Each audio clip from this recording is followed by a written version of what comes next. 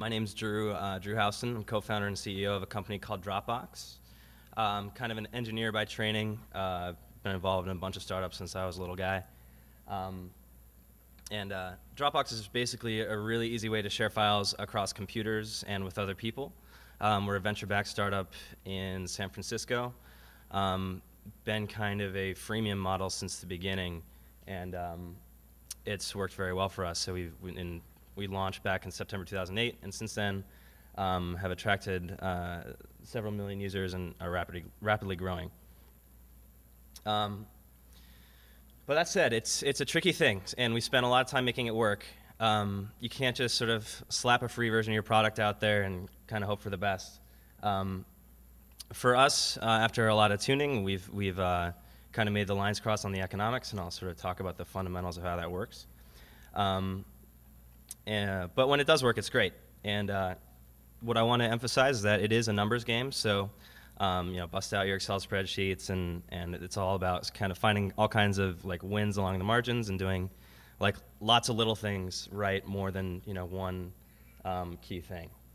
And uh, so, a lot of the sort of you know benefits and challenges of freemium are, are pretty well documented, but um, thought it might be useful to sort of walk through the things that we did that were successful and the things we screwed up, um, and sort of how we arrived at uh, some of our conclusions.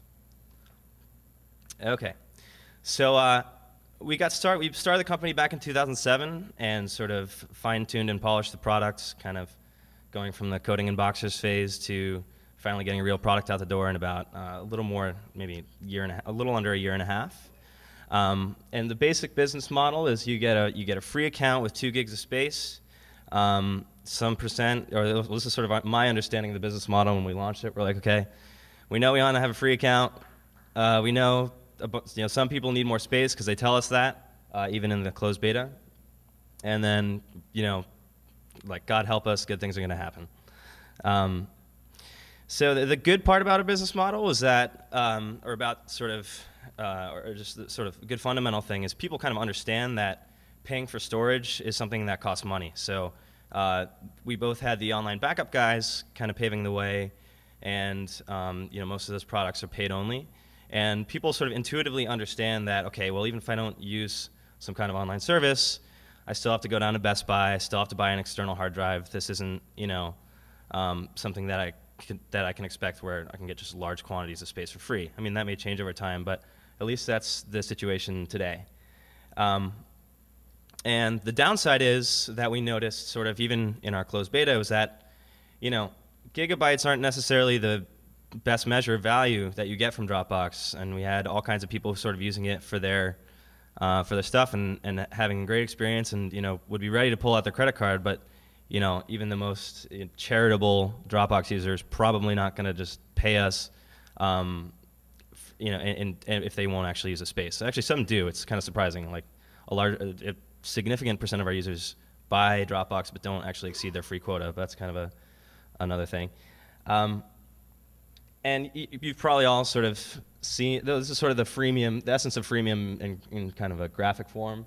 You have your subscription revenue. Uh, you have the costs, sort of your basic gross margins. You know the cost it, it takes to serve a, an individual paid user, and sort of the fundamental uh, difference with freemium is that you also have, you know, typically some kind of low conversion rate, so you know, single digit percent, and what you end up with is a ratio of for every paid user there are n free users, and for freemium to work, um, the each paid user has to pay for n free riders.